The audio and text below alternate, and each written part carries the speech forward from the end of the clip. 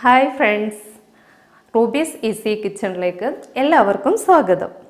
ഇന്ന് ഞാനിവിടെ ഉണ്ടാക്കാൻ പോകുന്നത് തേങ്ങാച്ചോറാണ്. എല്ലാവർക്കും ഇഷ്ടപ്പെട്ട തേങ്ങാച്ചോറ്.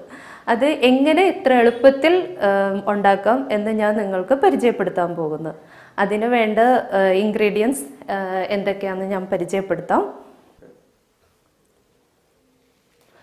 ഒരു തേങ്ങ തിരുമിയത് അതിന്റെ പാൽ പിന്നെ മട്ട അരിയാണ് ഞാനിവിടെ എടുത്തിരിക്കുന്നത്. പിന്നെ ഉലുവ ഒരു സവാള ചെറുതായിട്ട് അരിഞ്ഞത്.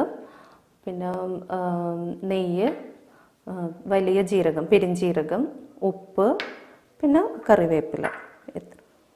ഇന്ന് ഞാൻ തേങ്ങാച്ചോറ് ഉണ്ടാക്കാൻ എടുത്തിരിക്കുന്ന അരി മട്ട അരിയാണ്. അതുകൊണ്ട് തന്നെ കുറച്ച് വേവ് കൂടിയ അരി തന്നെയാണ്. നമുക്കറിയാമല്ലോ നമ്മുടെ വീട്ടിൽ ഉപയോഗിക്കുന്ന അരിക്ക് എന്തുമാത്രം വേവ് ഉണ്ടെന്ന് അപ്പോൾ അതനുസരിച്ച് ഈ വെള്ളത്തിന്റെ അളവും കൂടും. തേങ്ങാപ്പാൽ ഒഴിക്കുന്നതിന്റെ അളവ് കൂടും. അപ്പോൾ സാധാരണ മട്ട അരിക്ക് ഞാൻ മൂന്നിരട്ടി വെള്ളമാണ് ഉപയോഗിക്കുന്നത്. ഇത് വെള്ളത്തിൽ കുതിർത്ത് ഒന്നും ചെയ്യേണ്ട ആവശ്യമില്ല. ഇത് വാഷ് ചെയ്ത് മാറ്റി വയ്ക്കാം. എന്നാൽ നമുക്ക് തുടങ്ങാം. തേങ്ങാച്ചോറ് ഉണ്ടാക്കാൻ വേണ്ടി ഞാൻ എടുത്തിരിക്കുന്നത് കുക്കറാണ്. അഞ്ച് ലിറ്ററിന്റെ കുക്കറാണ് ഞാൻ എടുത്തിരിക്കുന്നത്. അത് നമുക്ക് ചൂടാക്കാം.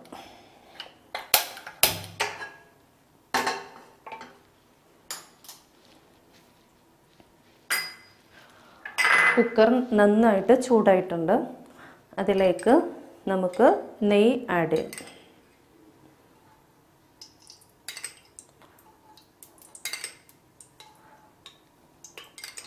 മൂന്ന് മൂന്നര നാല് സ്പൂൺ നെയ്യ് ഞാൻ ചേർത്തിട്ടുണ്ട്. അതിലേക്ക് നമ്മൾ നേരത്തെ അരിഞ്ഞു വച്ചിരിക്കുന്ന സവാള ഇട്ട് കൊടുക്കാം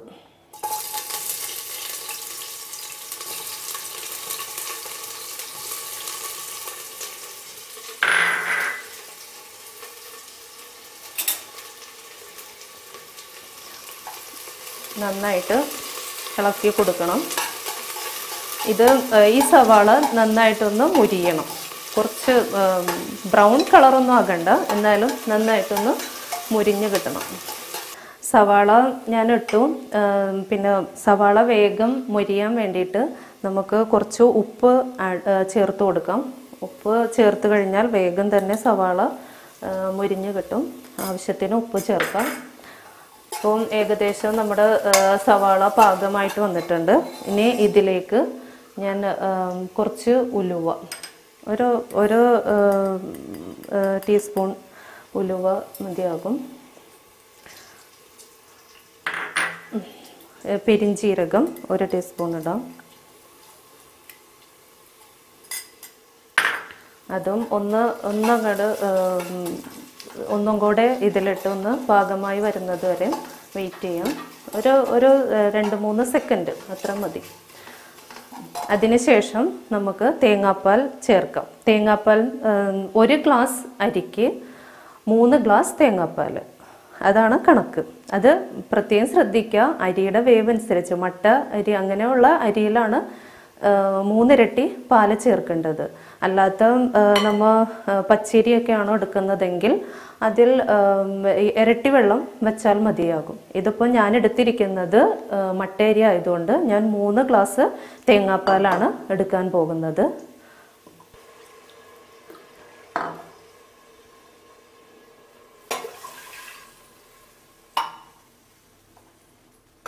മൂന്ന് ഗ്ലാസ് പാലൊഴിച്ചു. ഇനി ഈ പാലൊന്ന് നന്നായിട്ട് തിളച്ചു വരുന്നത് വരെ പാകത്തിന് ഉപ്പൊക്കെ ഇട്ട് റെഡിയാക്കി വെക്കാം. തേങ്ങാപ്പാൽ തിളച്ച് വരുമ്പോൾ നമ്മൾ വാഷ് ചെയ്ത് വെച്ചിരിക്കുന്ന അരി. കുതിർത്തണമെന്നൊന്നും നിർബന്ധമില്ല. കുതിർത്താത്ത വാഷ് ചെയ്ത് നന്നായിട്ട് വാഷ് ചെയ്ത് വെച്ചിരിക്കുന്ന അരി നമുക്ക് ഇതിലെടുത്ത് ചേർത്ത് കൊടുത്ത് ഉപ്പ് നോക്കി നമുക്ക് നമ്മുടെ വേപ്പില. ലാസ്റ്റാണ് വേപ്പില ഇടേണ്ടത്. വേപ്പില ഇട്ട് കുക്കർ അടച്ച് മൂടി ഒരു മൂന്ന് വിസിൽ വരണം. മൂന്ന് വിസിൽ വന്നതിന് ശേഷം കുറച്ചിടാം. കാരണം മട്ടേരി ആയതുകൊണ്ട് കുറച്ച് വേവ് വരാൻ സാധ്യതയുണ്ട്. അപ്പോൾ എന്താണ് അത് വെന്ത് വരാൻ വെയിറ്റ് ചെയ്യാം. മൂന്ന് വിസിൽ കഴിഞ്ഞതിന് ശേഷം സിമ്മിലിട്ട് വെക്കാം. സിമ്മിലിട്ടിട്ട് കുറച്ച് ഒരു അഞ്ച് മിനിറ്റ് വെയിറ്റ് ചെയ്യാം.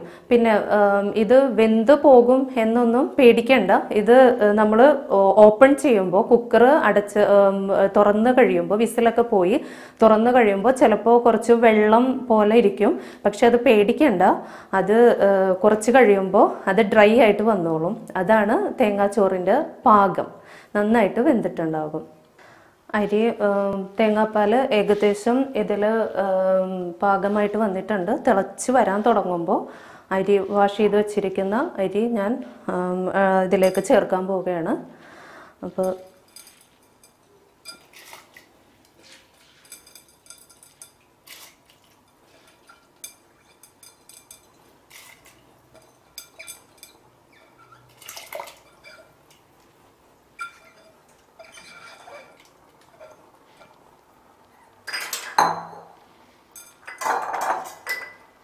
ഒന്ന് ഇളക്കി കൊടുക്കണം.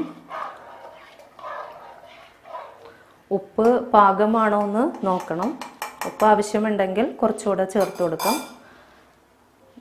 അവസാനം ഒരു സ്പൂൺ നെയ് കൂടി ആഡ് ചെയ്ത് വേപ്പില കഴുകി വെച്ചിരിക്കുന്ന വേപ്പിലയും കൂടി ഇതിലേക്ക് കുറച്ച് ഇട്ട് കൊടുക്കാം. അതിനുശേഷം നമ്മുടെ തേങ്ങാച്ചോറ് റെഡി ആയിട്ടുണ്ട്. വിസിലൊക്കെ പോയി. ഇനി നമുക്ക് കുക്കർ ഒന്ന് തുറന്നു നോക്കാം. ആ.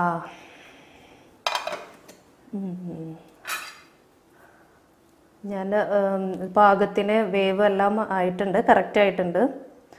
നല്ല പാകമായിട്ടുണ്ട്. കറക്റ്റ് വേവും എല്ലാം ആയിട്ടുണ്ട്. നമുക്കിതൊരു പ്ലേറ്റിലേക്ക് സെർവ് ചെയ്യാം.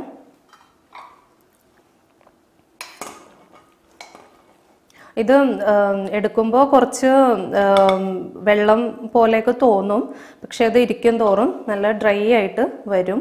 നല്ല കറക്റ്റ് പാകം വേവായിട്ടുണ്ട്. നല്ല സ്മെല്ല് തേങ്ങാച്ചോറിന്റെ. പിന്നെ ഇതിൽ എന്റെത് വൈറ്റ് കളറാണ് ഇതിൽ കളറൊക്കെ വേണമെന്നുണ്ടെങ്കിൽ ഇത് ചെയ്യുന്ന സമയത്ത് കുറച്ച് മഞ്ഞൾപ്പൊടി വേണമെങ്കിൽ നമുക്ക് ആഡ് ഇതിന്റെ കൂടെ ചേർക്കാം. തേങ്ങാപ്പാലിൽ ചേർക്കാം. അത് നിങ്ങളുടെ ഇഷ്ടം പോലെ. ഞാനിത് എപ്പോഴും ഉണ്ടാക്കുമ്പോൾ ഞാനിങ്ങനെ എന്റെ വൈറ്റ് കളറാണ് തേങ്ങാച്ചോറിന് ഉണ്ടാകുന്നത്. ഇതിപ്പോൾ നല്ല ഇതായിട്ട് നിങ്ങൾക്ക് ഇഷ്ടപ്പെടും എന്ന് വിചാരിക്കുന്നു. അത് എന്റെ പേര് പോലെ തന്നെ ഈസി ഈസി ആയിട്ട് തയ്യാറാക്കുന്ന ഒരു ഒരു വിഭവമാണ്. നിങ്ങളെല്ലാം ട്രൈ ട്രൈ ചെയ്ത് നോക്കണം. നോക്കിയിട്ട് ഇത് നിങ്ങൾക്ക് ഇഷ്ടപ്പെട്ടാൽ അതിന്റെ കമൻസ് എനിക്ക് അയച്ചു തരണം. പിന്നെ ഇതിന്റെ കൂടെ നമുക്ക് കൂട്ടി കൂടി കഴിക്കാൻ പറ്റുന്നത് ബീഫ് കറിയാണ്. ബീഫാണ് ഇതിന് ഏറ്റവും നല്ലത്. തേങ്ങാച്ചോറും ബീഫ് കറി. നമ്മളുടെ വീട്ടിലുള്ള ഇൻഗ്രീഡിയൻസ് വെച്ച് തന്നെ ഈസി ആയിട്ട് ഉണ്ടാക്കാൻ പറ്റുന്നതാണ്. നിങ്ങൾ ട്രൈ ചെയ്യുക ഓക്കേ